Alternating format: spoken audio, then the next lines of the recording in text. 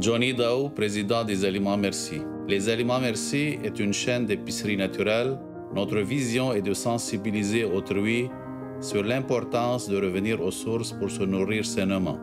Traiter notre planète Terre avec amour et respect, voilà l'héritage que nous voulons laisser aux générations futures. Les Aliments Merci, c'est une reconnaissance envers la nature qui nous donne avec générosité des aliments sains pour se nourrir. Soyons merci.